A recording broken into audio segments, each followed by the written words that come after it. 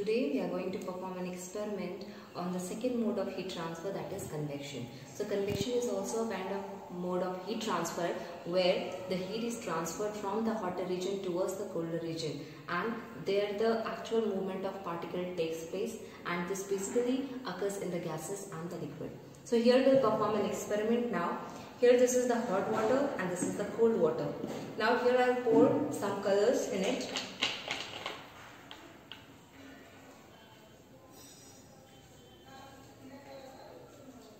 here. I have taken this and I have poured the color here.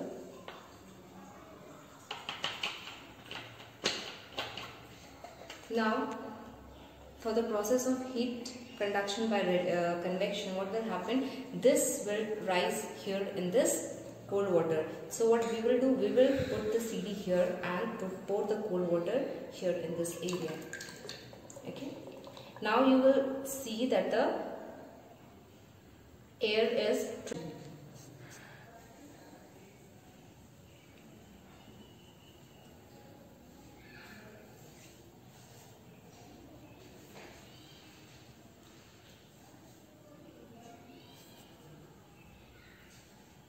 I hope you can see the air